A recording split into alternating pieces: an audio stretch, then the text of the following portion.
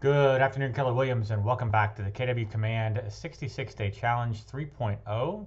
Today is day 34, and we are on the home stretch for our series on smart plans. So, one more video today, one more video tomorrow, and we will move on from here. So, uh, next week we will get into designs for everybody that's been itching to get into designs. So, uh, smart plans again, fourth applet down, fourth submenu here, the icon that looks like a diploma. And today I'm going to talk to you a little bit about the remaining four smart plans that we have not covered yet. So that is the 8x8, birthday, open house follow-up, and home anniversary. Uh, quick disclosure, as of today, that's December 27th, 2019, the 8x8 smart plan has been um, disengaged, I guess. Kind of, it does not allow you to assign contacts right now. There is an issue with regards to uh, Twilio and uh, timing of the texts going out. So I'm going to walk through this smart plan because I know labs will eventually get it fixed. And yet, if you do attempt to assign somebody to this smart plan, it will not allow you. So the 8x8 is one of the larger smart plans. It is 15 steps that last 56 days and includes eight touches. If we click on the steps, you can see the first text that goes out uh, says something along the lines of, hey, it's Marty Miller. Uh, or hey, Marty Miller, it's Marty Miller from uh, Summit Property Group. Would love to grab coffee sometime. Let me know what your schedule looks like in the next few days. This was the text that was causing the issues. Unfortunately, um, back when it was enabled, it was sometimes going out at 2, 3, 4, or 5 in the morning.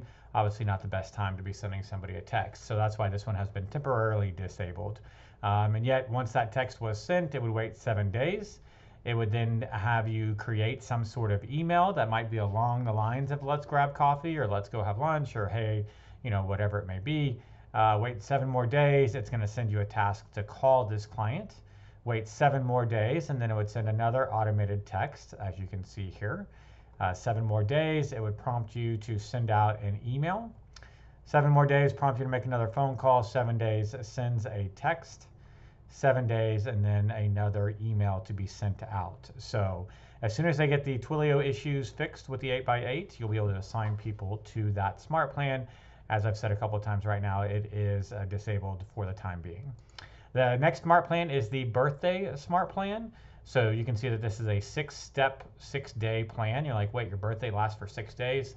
I have friends that birthdays last for 30 days, and yet it's a six day plan because it warns you kind of six days out. So it has you actually send a handwritten note six days out, and then it waits four days. It reminds you to send them a phone call kind of the day before, and then it waits another day, and then the actual day of their birthday, it reminds you to create a social post or send a message, social message to the client or customer or whoever it is in your database, and then it actually sends a uh, SMS automatically as well. Now, precursor to tomorrow's challenge, I'll tell you tomorrow we're going to talk about the ability to edit smart plans. And this is one of the texts that I would certainly edit because it doesn't actually identify who it's from. So, teaser alert, that's what tomorrow's video will be about as well. Uh, open house follow-up smart plan, the ability to reach out to a lead that has come through an open house. So I imagine that this would be something that you would want to send, uh, you know, literally while you are at the open house, maybe at the very end, you do your wrap up, you uh, make sure that all of your contacts have been added into command. I would highly recommend that you use a landing page, and we'll talk about that in the future here. We'll create a video for that if you've not already watched my previous video on it. Uh, create a open house sign-in landing page so that way people can uh, sign up for your open house and get directly put into command. And then at the end of the open house, you would put all those contacts on this follow-up plan. It would immediately send them a text, say, hey, what'd you think? It's going to wait a day and then it's going to prompt you to send an email. It says, hey, it was nice to meet you. It's going to wait two days, prompt you to make a phone call. Wait three more days, right? And then it's going to send another text. It's going to wait four more days and then it's going to give you a prompt to make a phone call. A three day wait, it sends out another text message. A four day wait with a follow up from an email hey, are you still home shopping, still interested?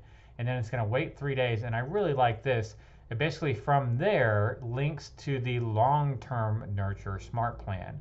So you can start to see kind of how this is going to work when we have the ability to create our own smart plans.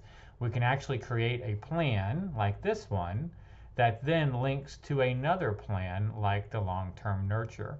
So this is a 20 day that then links to a 180 day plan. So you can see this would literally, these two combined would be 200 days, um, you know, and up to, I think we said uh, this was like 22 steps, even though there's only three touches, right? So that's the open house follow up plan. I really like this. This is one of the newer plans that has come out. Um, and you can see as uh, KWRI continues to develop all the options, these are getting more and more robust, which is pretty exciting. Lastly, we have the home anniversary smart plan.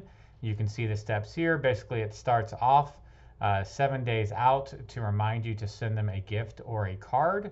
Um, obviously, you have to have their home anniversary in your contact record in order to assign somebody to this smart plan. Um, and then it's going to wait six days, and on the day of, it's going to actually remind you to call them and wish them a happy anniversary. And it'll actually tell you the anniversary date on the task when it pops up. So you can actually see that there, home anniversary date, colon, and then the contact home anniversary date. So got to make sure you put that in your contact record in order to add somebody to the home anniversary smart plan. Similarly, you have to have a contact's birthday in order to add them to that smart plan as well.